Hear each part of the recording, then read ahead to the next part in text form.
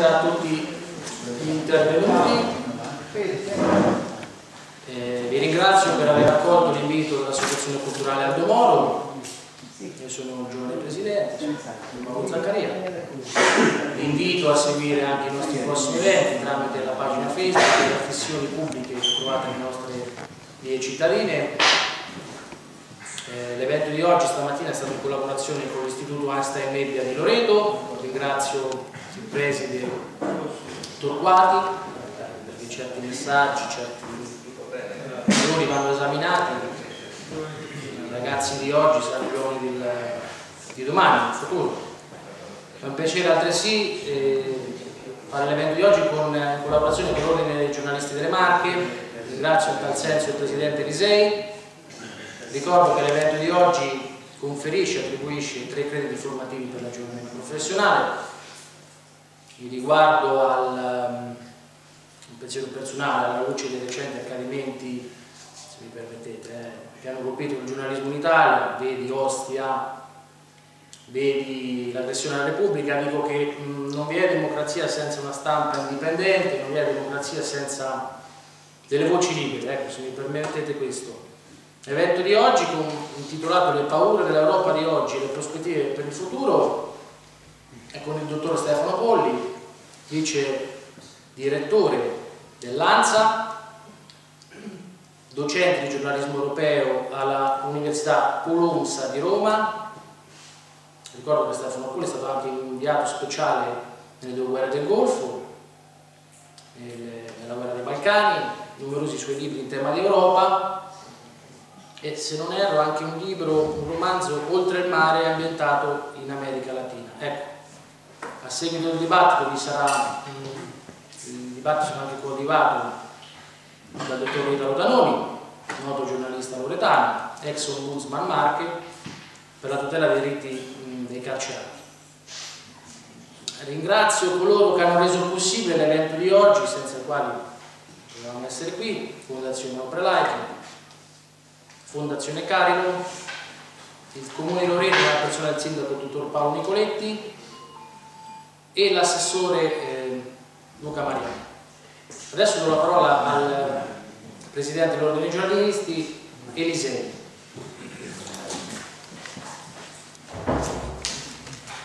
Grazie, grazie dell'invito, grazie Ito che eh, appunto mi ha chiamato e devo dire che queste iniziative sono iniziative che, che sono assolutamente eh, apprezzabili, anzi eh, se continuano eh, sono ben volute e quindi ben accolte anche dall'ordine, anche perché non vuole essere un ordine, eh, questo delle marche, non vuole essere un ordine solo burocratico, che purtroppo deve svolgere anche mansioni amministrative, ma vuole essere assolutamente un ordine partecipato e partecipativo. Quindi mh, eh, anche noi diciamo, di propria iniziativa faremo del, degli incontri e speriamo che siano eh, di alto livello come quello di questa sera, come quello che si pronuncia questa sera, su un tema con, eh, soprattutto con relatori di eccellenza come Stefano, e, ma anche su temi che sono di grande attualità. E con tutto quello che sta succedendo in Europa e credo che l'Italia appunto non debba poi solo guardarsi internamente ma dovrebbe anche confrontarsi e spaziare l'orizzonte per capire molte cose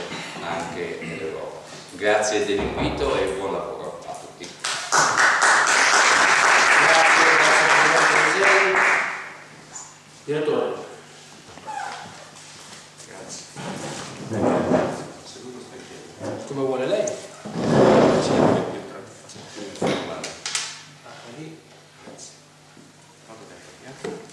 Eh, credo sette e mezzo, poi ci sarà un momento di confronto in base alle domande, discussione. Buonasera, eh, salve a tutti, grazie per essere qui. Avete affrontato la pioggia eh, che c'è su Via dei Coronari, giusto? Corso Boccalino. E per me è un grande piacere essere qui, questa è una zona d'Italia che, che amo molto, mi piace moltissimo, è una parte d'Italia molto attiva, molto vitale, gente che si dà da fare. E era un po' che non venivo, quindi sono molto contento, quindi vi ringrazio per l'invito, ringrazio tutti, ringrazio i colleghi giornalisti, Italo, il comune Io vorrei parlare non molto, vorrei dare tre o quattro spunti, qualche idea sulla situazione dell'Unione Europea e dell'Europa, poi se vi va facciamo qualche domanda, risposta, parliamo tra di noi. Uh, io penso che bisogna parlare, quando si parla di Europa di Unione Europea, dobbiamo sempre cominciare da un punto dal quale non si comincia mai in realtà, e cioè dal mondo, in quale mondo viviamo, perché l'Unione Europea, siamo nell'era della globalizzazione e l'Unione Europea è in qualche modo approfitta dei vantaggi ed è vittima degli svantaggi della globalizzazione, che sono tanti. Eh, la globalizzazione non è soltanto avere, trovare lo stesso tipo di telefonino qui a Buenos Aires, a Pechino, vedere i ragazzi con lo stesso paio di jeans qui in Islanda e, in India. È molto di più, la globalizzazione è soprattutto eh, culturale ed economica e non, non sempre nel senso, nel senso positivo. Per cui se, siccome siamo tutti consapevoli che c'è una crisi europea molto profonda, una crisi economica, una crisi politica, una crisi sociale, una crisi, vorrei dire, di identità. Dei valori europei, questa crisi è anche figlia diretta della globalizzazione. Si parla della globalizzazione, per tanti anni l'abbiamo incensata, abbiamo detto che era una bella cosa, e lo è, e lo è perché è giusto che ci sia un mondo aperto in cui le merci possono circolare più o meno liberamente, in cui i servizi possono circolare liberamente, un mondo attraverso il quale è facile viaggiare, la circolazione delle idee. Però è anche vero che dal punto di vista economico la globalizzazione negli ultimi anni ha portato molti aspetti negativi. Adesso da qualche tempo finalmente si comincia a parlare delle diseguaglianze della globalizzazione, di una classe media che sparisce sempre di più, della povertà che aumenta, di quel famoso 1% di ricchi che hanno le risorse finanziarie, i soldi di, tu, tutto il resto del, del, del restante 99%. 99%. Eh. È stato un processo abbastanza veloce per i tempi della storia, ma abbastanza lento per i tempi della nostra vita processo che è cominciato negli anni 70, negli anni 80 e ha due artefici che sono, la prendo, apparentemente la prendo un po' alla lontana ma arriviamo al dunque perché la crisi economica è al centro di tutte le nostre crisi, politica, la crisi dei migranti, la paura del terrorismo, eh, la Brexit, il referendum in Catalogna, tutto questo nasce da una situazione di malessere che è sociale ed economico. Dagli anni 70 agli anni 80 si è deciso che il mondo dovesse e potesse andare verso un neoliberalismo economico con poche regole. Soprattutto Ronald Reagan e Margaret Thatcher sono i grandi fautori di questa rivoluzione dell'economia. I sindacati hanno, sempre, hanno, perso sempre più peso eh, le aziende hanno sempre avuto più mano libera nel muoversi sempre più facilità di licenziamenti, sempre meno tutela dei lavoratori in nome di un'idea e l'idea è che se c'è un'elite ricca eh, questa ricchezza in maniera automatica si potrà propagarsi al resto della società. In inglese viene chiamata la teoria dello sgocciolamento, un termine abbastanza brutto, ma è questo che, viene, che è stato eh, ipotizzato dagli economisti americani che sono alla base di questa idea. Questo ha portato dei cambiamenti abbastanza eh, netti che hanno preso molta velocità negli ultimi 5, 6, 7, 8 anni. E il risultato è quello che vediamo adesso, eh, un mondo industriale che ha molta libertà nel prendere decisioni, eh, quelli che una volta si chiamavano, chiamavano i lavoratori, adesso è una parola che non va più di moda, che però hanno sempre meno diritti, un sindacato che è, è, ha perso potere, eh, grandi gruppi multinazionali che si muovono per il mondo, dove magari si pagano meno tasse, eh, il risultato è che abbiamo una classe media che si è ridotta, che eh, è sempre più povera, una classe della fascia dei poveri che è aumentata e l'1% dei ricchi che è sempre più ricco. Allora bisogna partire da, da questa idea dell'economia perché poi l'economia è la base di, tutte, di tutti gli sviluppi ai quali stiamo assistendo. Il risultato è che in Europa in questo momento abbiamo una disoccupazione che viaggia intorno al 12-13% e una disoccupazione giovanile che in alcuni paesi come l'Italia ha raggiunto quasi il 40%, che vuol dire che circa un giovane su due non ha lavoro o non riesce a trovare lavoro. E poi è in aumento il numero dei giovani che non cercano più lavoro perché non hanno speranza di, di trovarlo. Questo è un po' uno spaccato, uno spaccato in maniera grossolana della società europea dal punto di vista, punto di vista economico. Eh, ma è molto importante per parlare poi dei migranti, del terrorismo, della Brexit e dei problemi attuali cercare di capire cosa si potrebbe fare per migliorare la situazione, eh, è molto importante capire qual è stata la dottrina economica che l'Unione Europea ha adottato di fronte a questa crisi. Come voi sapete la crisi è nata nel 2007 e nel 2008 ed è nata negli Stati Uniti, anche negli Stati Uniti dicono che è colpa degli europei, no, non è vero, è colpa degli Stati Uniti perché lì c'è stata una delle tante bolle immobiliari eh, che è esplosa eh, come voi sapete eh, negli Stati Uniti è possibile acquistare una casa, su quella casa aprire più di un mutuo, più di un prestito e il proprietario di una casa si trova in mano un valore virtuale di denaro che è 5, 6, 7 volte il valore reale dell'immobile.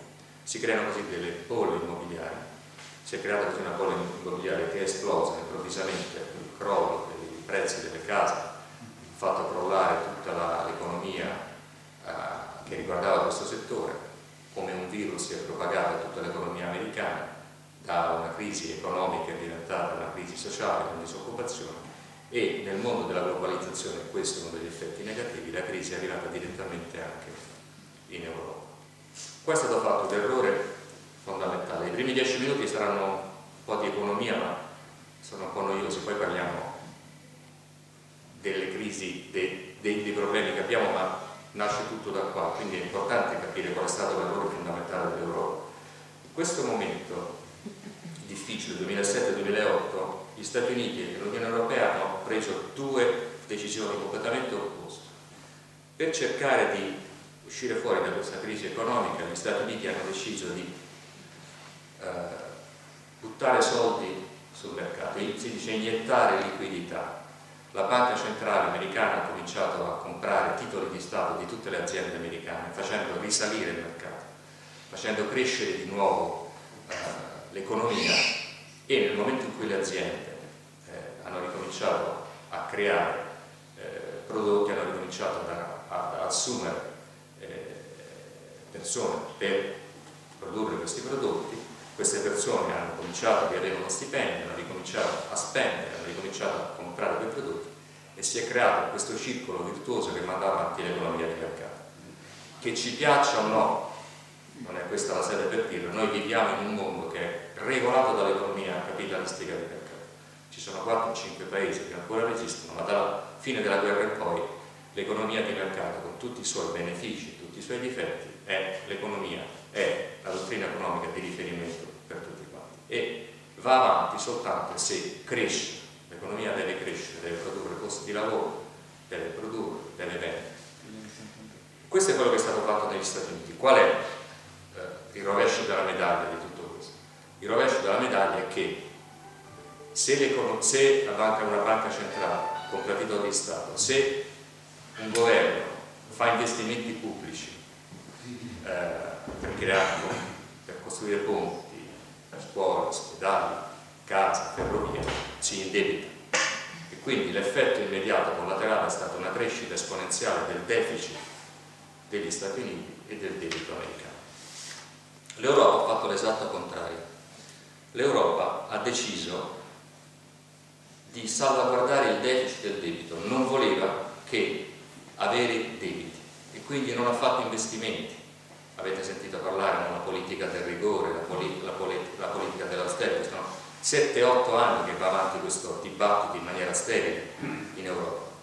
Il problema è che l'Unione Europea non è gli Stati Uniti, l'Unione Europea non è ancora una federazione, è una costruzione a metà del quadro, siamo a metà della strada, è una costruzione incompleta, non esiste ancora una politica estera comune, una politica di sicurezza comune, una politica di, sui migranti comuni, ora ne parliamo. Per cui da un lato l'Unione Europea non ha gli strumenti per fare quello che hanno fatto gli Stati Uniti, ma soprattutto non ha né la volontà né il coraggio perché, diciamo le cose come stanno, tanto siamo fra di noi, i paesi europei ancora non si fidano gli uni degli altri. Vi ricorderete la crisi della Grecia, il Fondo Monetario, Banca Centrale Europea, che sono andati a, di fatto a commissariare la Grecia e per dare aiuti a un paese che stava morendo hanno imposto dei sacrifici, la cosiddetta politica del rigore della strada. Per cui gli Stati Uniti hanno preso una strada, quella di iniettare soldi nel sistema, ma facendo aumentare il debito e il deficit, l'Unione Europea ha deciso di lasciare che le cose andassero come dovevano andare, ma mantenendo il deficit e il debito bassi. È un po' il discorso delle nostre famiglie, no? Ognuno di noi ha una famiglia, una moglie, dei figli, una casa, un mutuo da pagare, prestiti. Se entrano 1000 euro in casa, entrano di più spero, ma insomma, se entrano 1000 euro, facciamo 1000 euro per 5 persone. Queste 5 persone ne spendono 1200, 1500, 2000, 3000 ogni mese, è chiaro che il debito della famiglia aumenta. Questo è stato il pensiero detto proprio in maniera molto grezza dell'Unione Europea. Il problema è che l'Unione Europea non è una semplice famiglia, è qualcosa di, di diverso. Con il seno del poi avevano ragione gli americani. Perché? Gli americani in America eh, l'economia si è ripresa, ha cominciato a correre e aumentando il PIL, il prodotto interno lordo, degli Stati Uniti, automaticamente è diminuito il deficit del debito. Quindi alla fine questa grossa macchina dell'economia che ha corso corso, alla fine è riuscita a riabbassare il deficit e il debito. Si chiama, c'è un economista inglese, si chiamava Keynes, che diceva che bisogna fare così, e questa è stata una ricetta keynesiana che gli Stati Uniti hanno deciso. L'Europa non ha fatto investimenti, ha avuto debiti, qualcuno più, qualcuno meno, bassi, deficit sotto controllo, ma il problema è che la mancanza di investimenti pubblici ha fatto sì che l'economia europea ancora non si sia ripresa e che ci sia ancora un problema economico importante in Europa. Questo lungo discorso per dire che i problemi che abbiamo adesso derivano fondamentalmente da questo. Perché? In un'Unione Europea che ha circa 500 milioni di abitanti, che potenzialmente potrebbe essere la più grande economia del mondo, superiore a quella degli Stati Uniti e superiore anche a quella della Cina, ma non lo è, la mancanza di investimenti ha portato a, trasformare, a tramutare la crisi economica in una crisi di identità, in una crisi sociale. Se un giovane cerca lavoro per 2, 3, 4 anni non lo trova, se una famiglia non riesce ad andare avanti perché nel frattempo gli stipendi si abbassano sempre di più, perché le aziende non assumono, perché le aziende sono costrette a fare sacrifici, alla fine la crisi economica diventa una crisi sociale e anche una crisi di identità, perché alla fine, e veniamo adesso ai populismi, ai migranti, al terrorismo, alla Brexit, alla fine ci si comincia a chiedere, a fare la domanda che si fanno un po' tutti in Europa da tanti anni, ma conviene davvero stare nell'Unione Europea? Perché dovrei continuare a essere un cittadino europeo? Forse non è meglio tornare indietro, è quello che hanno fatto gli inglesi, ma anche qua in Italia qualcuno comincia a dire non è meglio tornare alla lira, non è meglio uscire fuori dall'euro, e lo dicono in tutti i paesi. La mia risposta è no, che non conviene, però io non devo convincere, io dico quello, quello che penso, vi faccio alcuni esempi alcuni di noi penso si possono ricordare benissimo come era la situazione quando c'era la lira, a livello dell'inflazione, adesso no. In Europa c'è il problema opposto, che è il problema della deflazione, che però è stato superato. L'inflazione è una malattia terribile che ha costretto l'Italia negli anni 70 e negli anni 80 a fare dei sacrifici enormi. I prestiti bancari e i mutui erano altissimi, attualmente il prestito, prestito in banca o mutuo si ottiene a tassi che sono molto vicini allo zero, quando si andava all'8, al 9, 10%, 30, 25 o 30, o 30 anni fa. Questo è il merito dell'euro, perché con tutti i difetti, con tutte le cose brutte che ho detto dell'Europa, l'euro è una moneta fortissima, è una moneta stabile e per la base di un'economia avere una moneta forte e stabile è fondamentale. La crisi economica passerà, vi sicuro che passerà, non so quanto tempo ci metterà, eh, non so in quali condizioni usciremo fuori, ma passerà, sta, è già cominciato a passare, ci sono dei segnali di ripresa dell'economia, non è ancora sufficiente. E questi segnali sono, valgono soltanto per gli accademici o per i politici che in tutti i paesi, non solo in Italia, in tutti i paesi dicono avete visto siamo cresciuti dello 0,8, dell'1,1 eh, il nostro paese si è ripreso, peccato che però sia solo sulla carta perché questa ripresa esiste ma non è ancora abbastanza forte da incidere davvero nelle nostre vite di tutti i giorni, non è ancora abbastanza forte da permettere all'azienda di assumere, di aumentare gli stipendi, di, non consente di creare nuovi posti di lavoro, per cui noi ancora non ce ne accorgiamo, molti di noi ancora sentono la crisi economica, abbiamo questa sensazione che le cose non vadano bene dal punto di vista economico. Questa situazione di fragilità, di, di precarietà, di poca speranza per il futuro, che nasce da scelte economiche sbagliate, nasce da, dal modo in cui, in cui viviamo e dalle scelte economiche che sono state fatte, ha portato a tutta una serie di problemi che sono i problemi con i quali noi ci confrontiamo tutti i giorni. Mancanza di una vera identità europea, crescita dei populismi, mancanza di una politica migratoria degna, degna di questo nome, rifiuto dei, dei, migranti, paura del terrorismo, del terrorismo di stampo islamico, tant'è vero che un paese, la, la Gran Bretagna, se ne sta andando e addirittura una regione spagnola, la Catalogna, ha chiesto di separarsi dalla Spagna, cosa che non accadrà mai, ma ci hanno provato. Um, I populismi. Ci sono tanti partiti eh, in Europa che cavalcano questa paura, questo senso di precarietà, questo senso di mancanza di prospettive del futuro. E la storia ci insegna che, ci insegna che poi questi, nei momenti storici in cui l'economia va male, in cui ci sono poche speranze, questi, questi, partiti prendono piede, è normale, è umano, tutti noi abbiamo, abbiamo paura, tutti noi abbiamo un figlio eh, sul, per il quale abbiamo paura per il suo futuro, abbiamo paura per il nostro presente, abbiamo delle scadenze economiche, per cui ci, si cerca un rifugio. Uh, nelle elezioni francesi, francesi ha vinto Macron, il nuovo presidente, Macron per vincere ha dovuto combattere contro un partito populista molto forte e molto preparato, che è il Front National di Marine Le Pen. Ha vinto Macron, io dico per fortuna.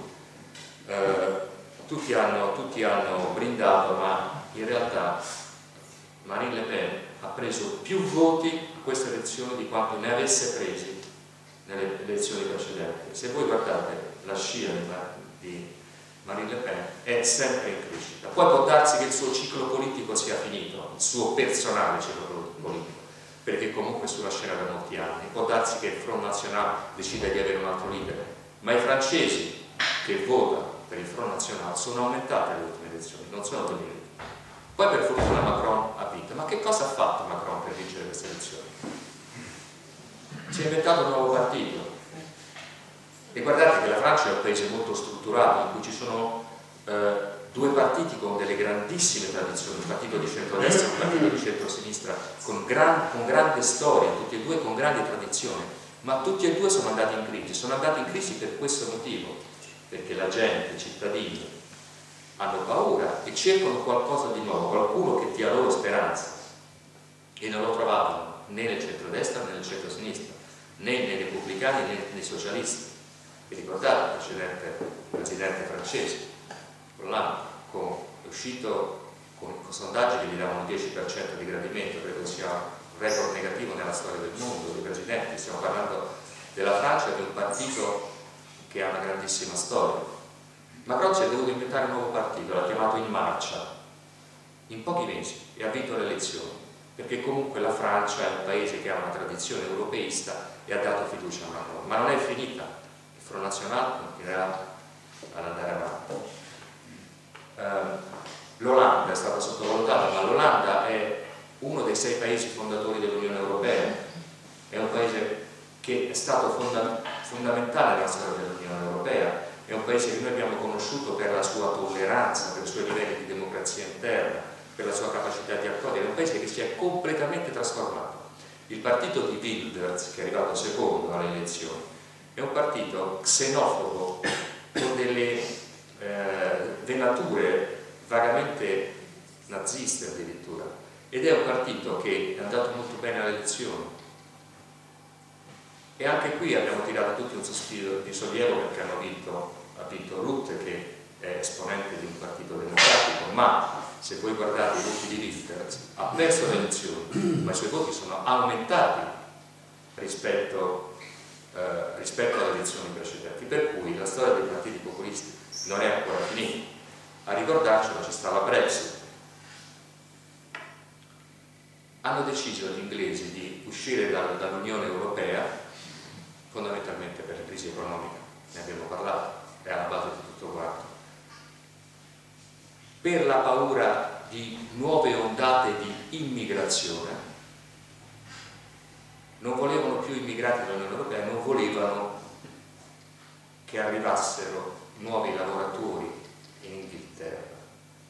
Allora, questo è, questo è un esempio eh, chiarissimo di dove può portare la paura, di dove può portare eh, una, una, crisi economica, la mancanza di speranza, la mancanza di prospettive. Adesso non voglio fare paragoni, eh, però noi non dobbiamo mai dimenticarci che sia il nazismo sia il fascismo non hanno fatto colpi di Stato, sono andati al potere con la volontà popolare. Poi quando sono andati al potere hanno tolto la democrazia, non si è più votato e sono diventati delle dittature terribili che hanno fatto delle tragedie, delle follie nel mondo, ma sono andati al potere grazie a, anche grazie eh, ai cittadini che, che, volevano cambiamento. Il nazismo andato al potere per, una, una, per, la più profonda crisi economica che ha colpito la Germania nella sua storia, la crisi di Bani, l'inflazione galoppante. Per cui questo lo dobbiamo ricordare. Allora, la Brexit è abbastanza significativa perché la Gran Bretagna è un grandissimo paese, è stato un grande impero, ha conquistato il mondo, in tutto il mondo si parla inglese, è un paese punto di riferimento, grandissima cultura, grandissimi scrittori, grandissimi artisti, grandissimi scienziati, è un paese simbolo della democrazia, la Gran Bretagna. Chi può negare? Eppure hanno votato con la pancia gli inglesi su delle basi inesistenti. Ci sono in, in Gran Bretagna 6 milioni di cittadini europei che lavorano in Gran Bretagna e la Gran Bretagna, se questi 6 milioni di cittadini europei scusate 3 milioni, 3 milioni, 3 milioni di cui 600 mila italiani, domani andassero via, probabilmente alcuni servizi essenziali si fermerebbero, gli ospedali, le scuole, potrebbero smettere di funzionare perché questi 3 milioni di cittadini europei danno un contributo fondamentale. L'immigrazione non esiste, noi stiamo parlando di alcune decine di migliaia di persone che hanno cercato di raggiungere la Gran Bretagna dell'immigrazione di migranti. La storica immigrazione che c'è verso la Gran Bretagna è un'immigrazione che proviene dall'India, dal Pakistan, dal Bangladesh per motivazioni storiche. Per cui la Brexit è stato un grande abbaglio e credo, mi dispiace molto, che gli inglesi la pagheranno dal punto di vista economico perché saranno probabilmente costretti a uscire dal mercato unico. Adesso si parla male dell'Unione Europea, sto parlando male anch'io in qualche modo, ma L'Unione Europea è l'unica alternativa che abbiamo per il futuro. A volte non ci rendiamo conto. Noi siamo tutti cittadini europei, votiamo per il Parlamento europeo, mandiamo i nostri rappresentanti al Parlamento europeo. Le leggi del Parlamento europeo diventano in maniera automatica le nostre leggi nazionali perché il nostro Parlamento le ratifica quasi in automatico e sono le leggi che regolano la vita dei nostri, dei nostri giorni, tutti, tutti, i giorni. Siamo tutti cittadini europei profondamente, non ce, rendiamo, non ce ne rendiamo conto noi possiamo prendere un aereo e andare a Parigi senza mostrare il passaporto, ad Amsterdam, dove vogliamo andare. eh, abbiamo una moneta unica che ci aumenta molto più di quanto, di quanto pensiamo, abbiamo dei valori, dei principi, viviamo in un'osi di democrazia, di benessere, di solidarietà eh, e ci sono alcune facilitazioni di cui noi non siamo consapevoli e di cui forse neanche i cittadini inglesi che hanno votato per la Brexit. Allora, il mercato unico vuol dire che non si pagano dazi e tasse all'interno dei paesi per lo scambio delle merci.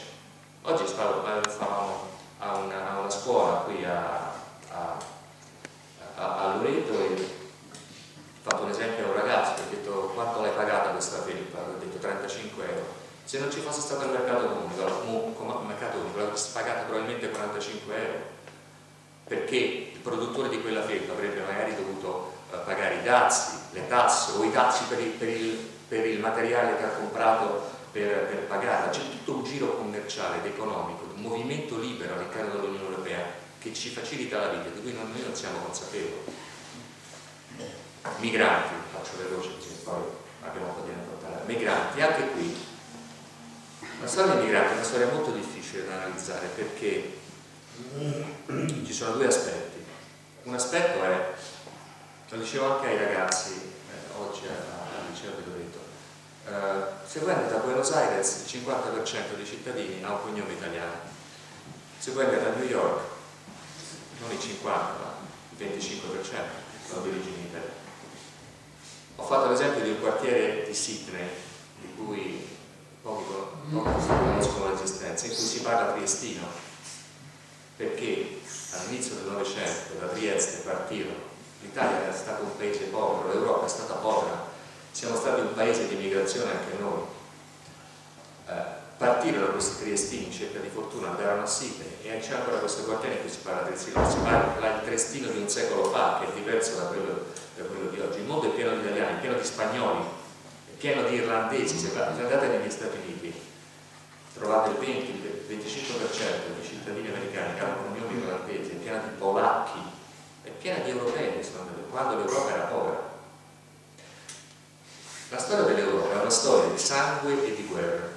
Gli europei sono sempre combattuti.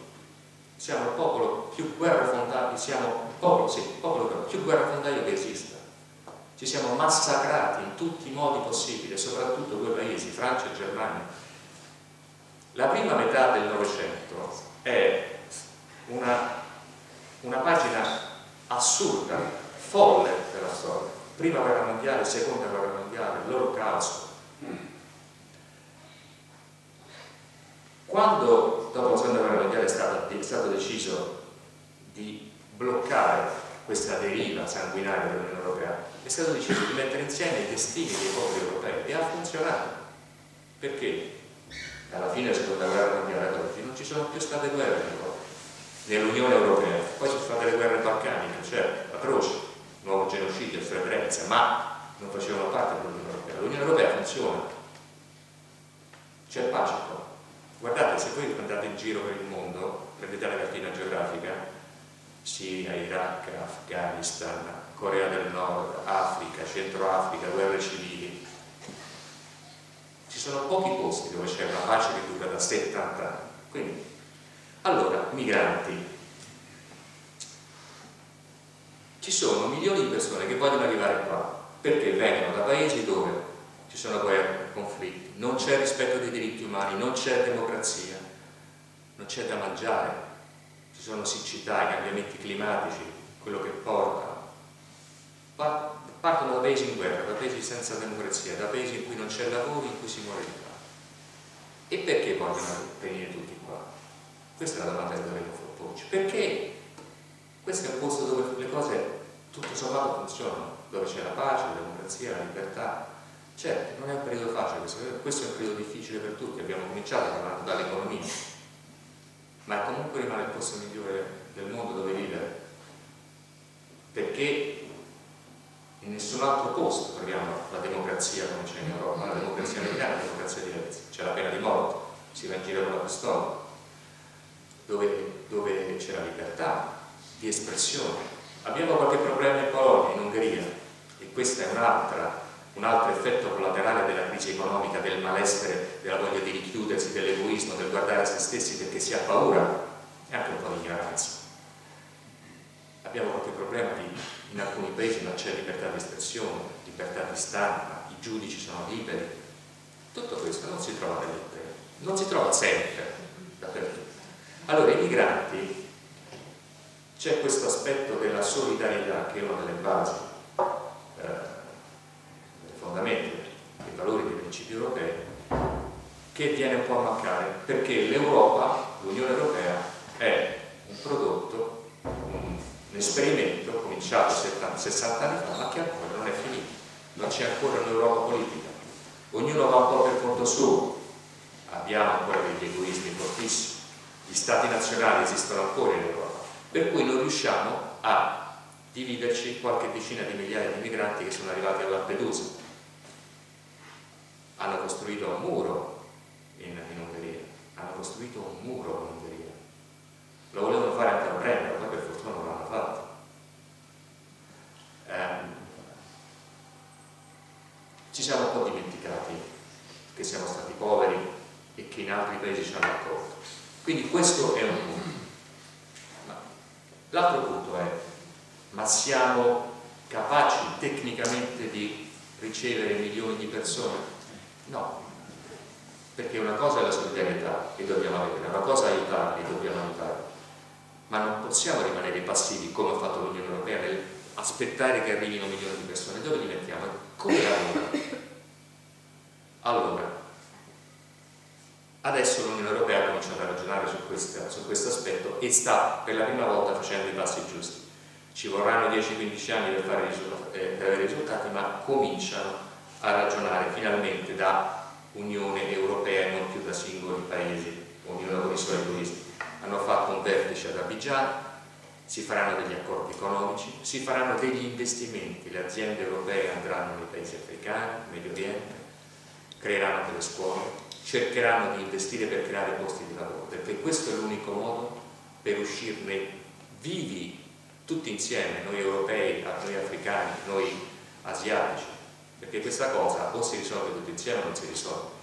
Quindi si è per la prima volta eh, intuito che bisogna avere una cooperazione, fare investimenti e cercare di aiutare le persone eh, nei paesi dove vengono facendo crescere questi paesi. Nel frattempo bisogna ricordarsi che siamo l'Unione Europea con i nostri valori, non si possono fare blocchi navali davanti alla Libia, non si può permettere che le persone muoiano nel Mediterraneo, non si possono fare gli accordi con gli scafisti che creano dei campi di concentramento in Libia, non si possono fare accordi da 6 miliardi di euro con la Turchia di Erdogan che a sua volta ha creato qualcosa di molto simile a Belaria in Turchia.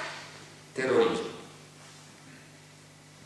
tutti abbiamo paura del terrorismo, terrorismo di stampo islamico, di ispirazione islamica.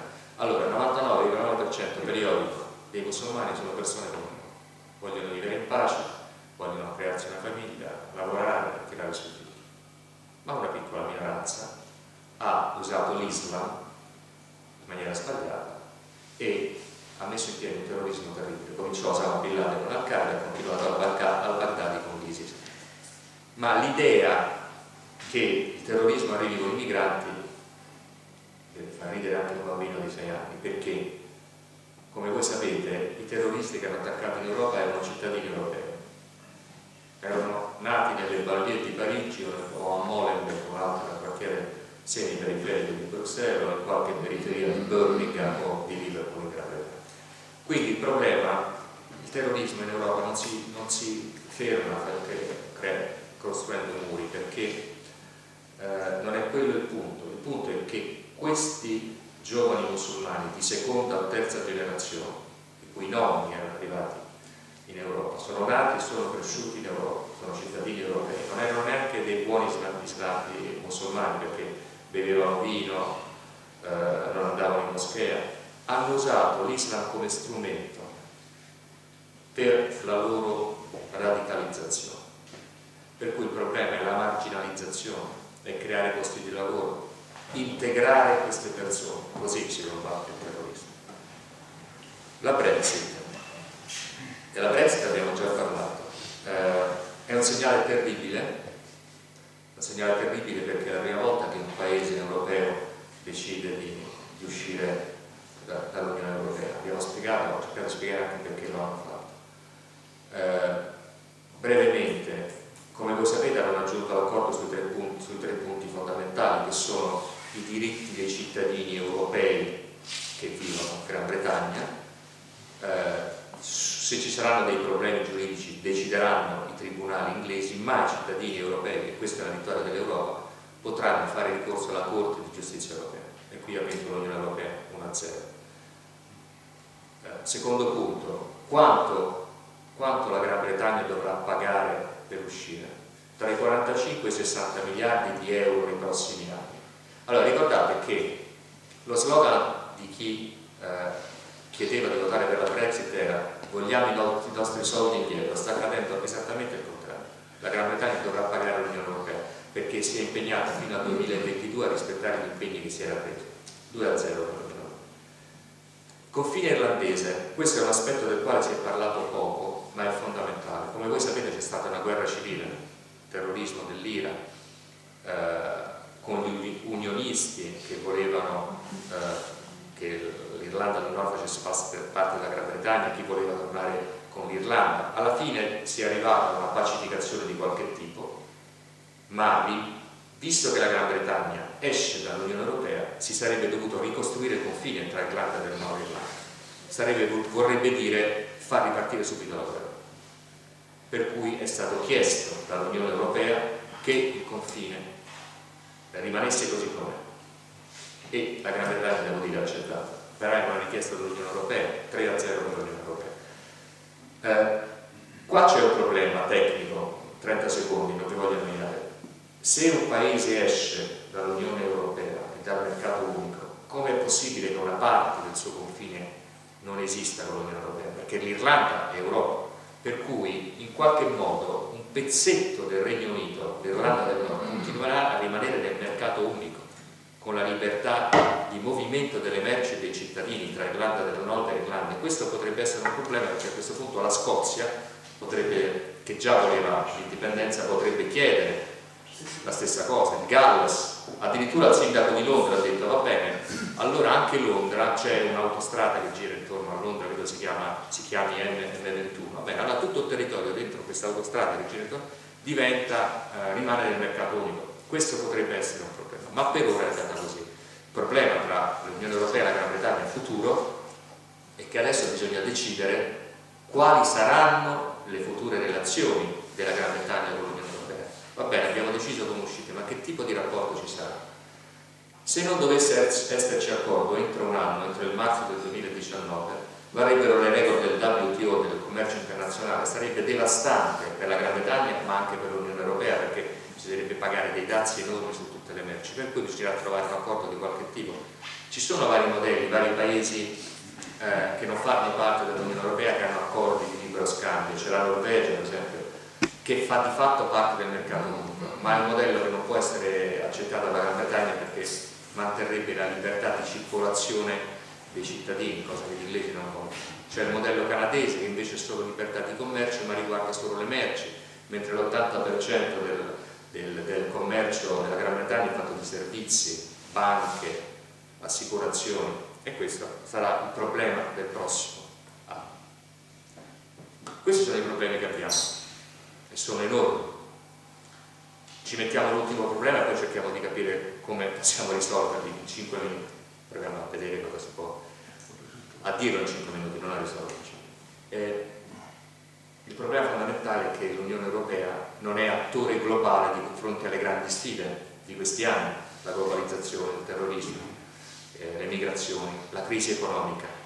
I paesi vanno ancora un po' ognuno per conto suo, non c'è una politica estera comune, non c'è una politica dell'immigrazione. Se un, se un migrante arriva a Lampedusa e dice io voglio asilo politico e voglio andare in Danimarca, non lo può fare perché le regole europee l'accordo di Dublino prevede che l'unico paese che può dare l'asilo politico sia il primo paese dove si arriva. Ma se uno vuole l'asilo politico in Danimarca perché ha i parenti in Danimarca, la famiglia in Danimarca, come fa dalla Libia a arrivare in Danimarca? Eh, c'è molto da lavorare, sono cose importanti, quindi il lavoro è ancora Il futuro. Ehm, intanto abbiamo un sacco di problemi da risolvere immediatamente in questi mesi all'interno di alcuni. No? In Germania abbiamo eh, cioè, la Germania è il paese guida che ci piacciono al paese guida dell'Unione Europea non riescono a fare un governo. C'è questa crisi questo malessere del quale parlavo prima ha colpito anche la Germania che sembrava un paese solido. Tutti davano per scontato che la Merkel una volta vinta le elezioni avrebbe creato nuovamente il governo con i liberali e con i verdi.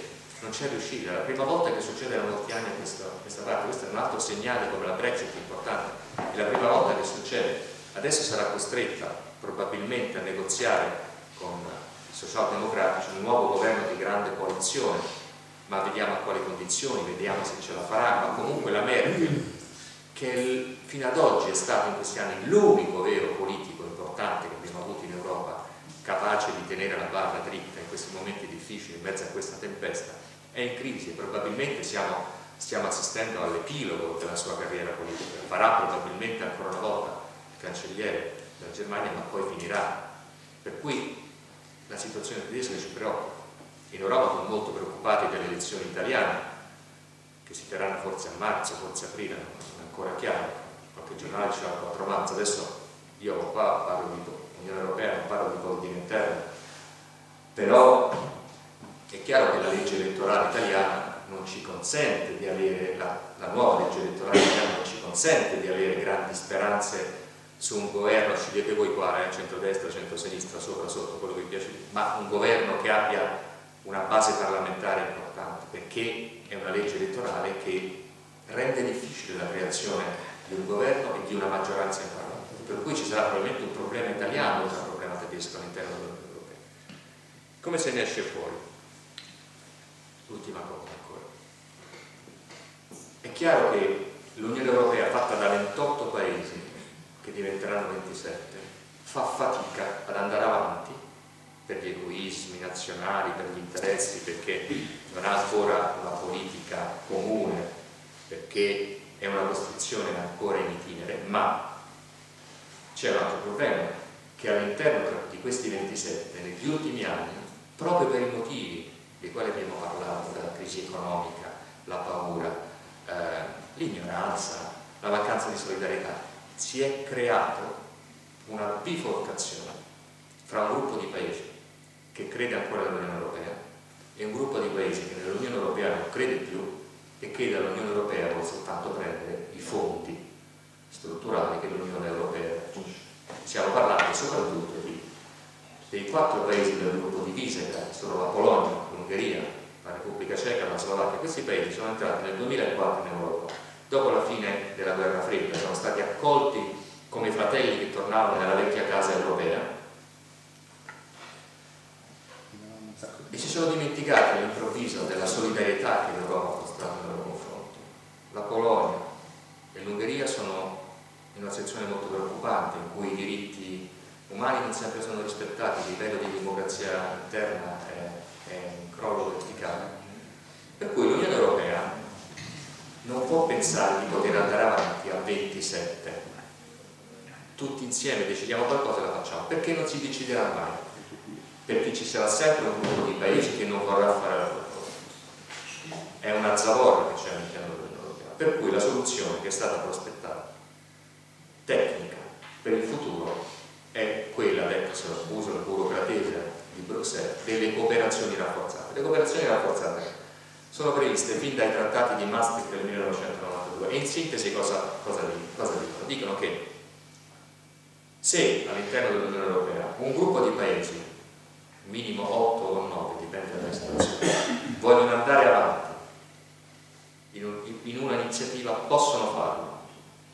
Gli altri paesi, quelli che non possono, o che non vogliono potranno aggiungersi successivamente. Questo è il futuro dell'Unione dell Europea. Piccoli gruppi di paesi che all'interno dell'Unione Europea andranno avanti con le loro iniziative. Faccio un esempio molto chiaro, si parla in questi giorni della, di creare un esercito europeo, la difesa europea, non si potrà mai creare a 27, ma un gruppo di paesi, 8, 9, 10, 12, decideranno di fare un esercito europeo e andranno avanti.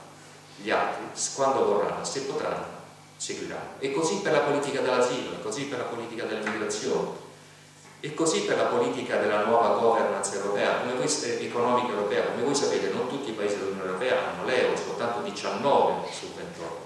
Quei 19 saranno probabilmente il nucleo centrale che svilupperà una serie di iniziative. Velocemente perché non c'è tempo, il mondo va molto veloce, c'è la globalizzazione, c'è Donald Trump che ogni mattina si sveglia e combina guai dall'altra parte dell'oceano, questi guai arrivano addosso a noi, ci sta una guerra in Siria e probabilmente ce ne saranno altre in Medio Oriente perché c'è una tensione altissima tra paesi sunniti e paesi sciiti, tra Israele e il Libano, ci sono milioni di migranti che arrivano, bisogna essere veloci, l'Unione Europea deve decidere di essere attore globale, lo potrà fare soltanto attraverso questa tecnica di piccoli gruppi che decideranno. In questo senso Trump ci ha aiutato, come la Brexit ci ha aiutato. Perché?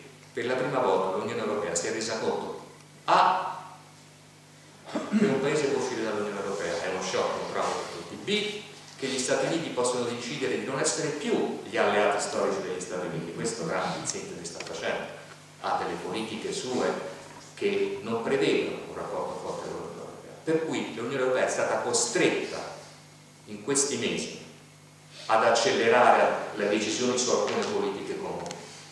Sono stati molto veloci, per esempio appunto sulla politica di difesa, si sta andando avanti molto velocemente, perché è chiaro che per costruire una politica comune, una politica di sicurezza, ci deve essere una identità di difesa europea che non.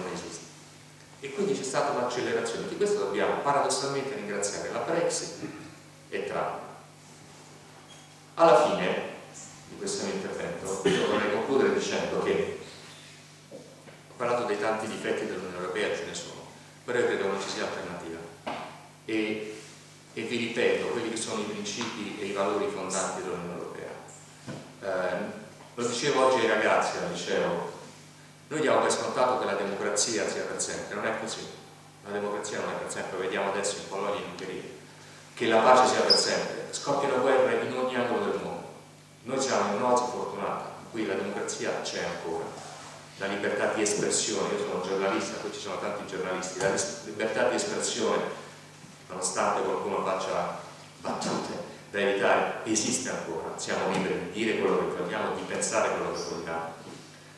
Uh, è un periodo di economia difficile, ma questo, questa è una cosa di prosperità e di benessere rispetto alla al resto del mondo. Quindi democrazia, libertà, pace, benessere, sono tutti valori e principi che ritroviamo soltanto, soltanto qui da noi. Quando parlo con i ragazzi, con i giovani, dico sempre sì, è un periodo difficile, è vero, l'Unione Europea ci fa arrabbiare, è vero, a, Bruxelles ci sono i burocrati, è vero, è tutto lento, è vero, a volte le cose non si capiscono, è tutto vero, è tutto vero, però non c'è un posto migliore ancora eh, nel mondo, migliore dell'Unione Europea per tutti questi motivi che vi ho detto. Grazie.